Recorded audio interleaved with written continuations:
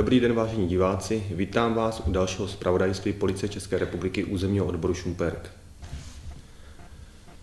Ve středu 23. března proběhla na území města Mohelnice a jeho okolí rozsáhlá dopravně bezpečnostní akce v rámci preventivních opatření k zajištění bezpečnosti a plynulosti silničního provozu ve snaze zlepšit dopravní bezpečnostní situaci a snížit dopravní nehodovost na teritoriu územního odboru Policie České republiky Šumperk. Do akce bylo nasazeno 12 policistů územního odboru a pět příslušníků vojenské policie, kteří řešili problematiku kontroly vojenských vozidel a osob. Dopravně bezpečnostní akce byla zaměřena zejména na kontrolu dálničních známek, technického stavu a dodržování povolené rychlosti jak v obci, tak mimo. Dále se policisté zaměřili na technický stav užitkových a nákladních vozidel, především na kontrolu dodržování povinností pro silniční nákladní dopravu spojenou s přepravou nebezpečných věcí, dodržování dob řízení, přestávek a odpočinku. Po celou dobu dopravní akce byl přítomen i zástupce BESIPu, který se zaměřil v preventivní činnosti na řidiče nákladních vozidel, kdy bezproblémoví řidiči obdrželi drobné dárky. Policisté zkontrolovali během akce 172 vozidel. Celkem zjistili 53 přestupů, kdy tyto přestupky řešili blokovými pokutami v částce 39 800 korun. Čtyři přestupky byly postoupeny ke správnímu orgánu příslušného městského úřadu. Na fotografii můžete vidět, jaké dálniční známky řidiči používají. Za tento přestupek může být uložena bloková pokuta na místě do 5000 korun, ve správním řízení až do 15 000 korun.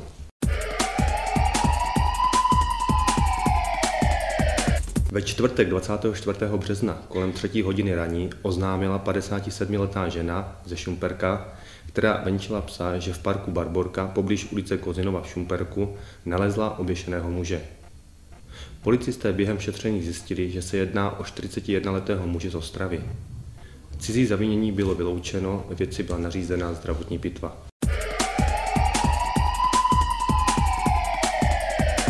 Podezřelým ze spáchání trestného činu maření výkonu úředního rozhodnutí je 26-letý mladík ze Šumperka, který byl v úterý 29. března kolem jedné hodiny v noci jako řidič motorového vozidla kontrolován hlídkou policie.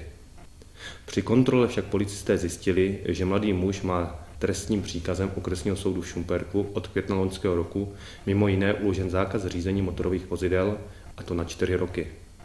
Ve věci je vedeno zkrácené přípravné řízení.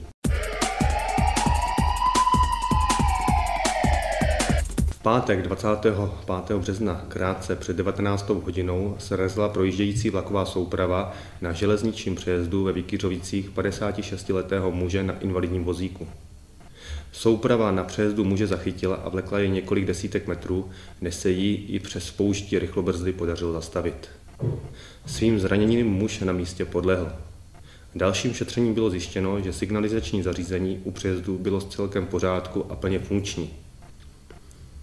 Dále předběžného závěru drážní inspekce, která byla také na místě, strojvedoucí nijak nepochybil ani nezanedbal své povinnosti. Alkohol u strojvedoucího byl vyloučen orientační dechovou zkouškou. Podle výpovědi strojvedoucího a dalšího svědka muž věl na koliště umyslně a záměrně se nechal vlakem srazit. S největší pravděpodobností chtěl tímto způsobem vyřešit své osobní problémy. Dopis na rozloučenou nalezen nebyl. Okolnosti tohoto případu jsou stále předmětem šetření policie.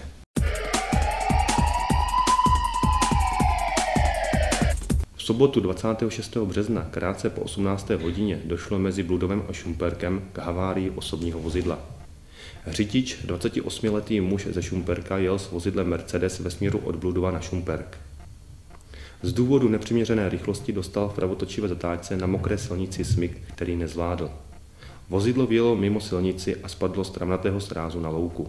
Při nehodě došlo k lehkému zranění řidiče, který si stěžoval na bolest ramene, ale lékařskou pomoc na místo přivolat nechtěl. Policistům sdělil, že si k lékaři pak zajde sám. Alkohol byl u řidiče vyloučen orientační dechovou zkouškou. Škoda na vozidle byla vyčíslena na částku 30 000 korun.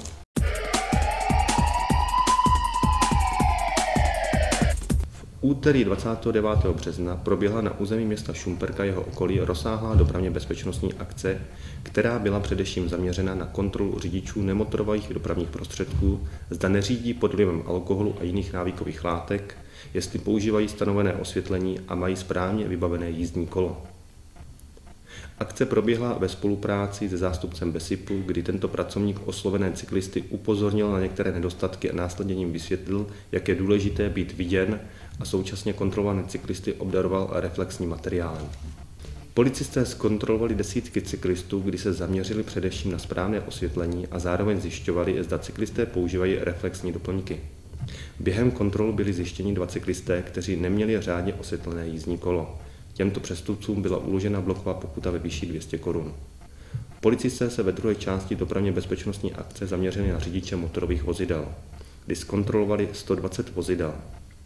Celkem zjistili 60 přestupků a uložili 59 blokových pokut v celkové výši 27 200 korun.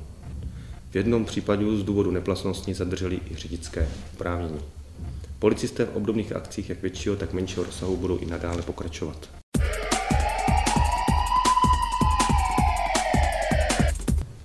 Trestného činu ohrožení pod vlivem návykové látky je podezřelý 40-letý muž ze Šumperka.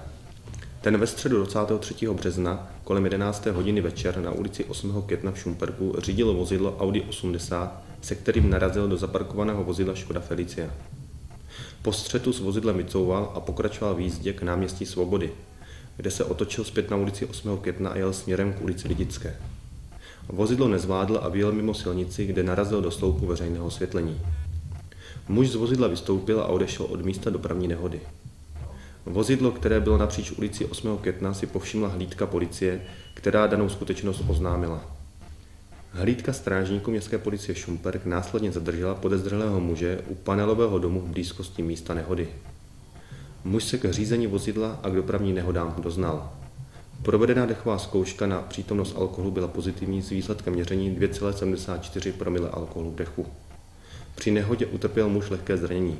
Celková škoda na poškozených věcech činí 28 000 korun. Pro dnešek by to bylo vše a opět za týden na viděnou.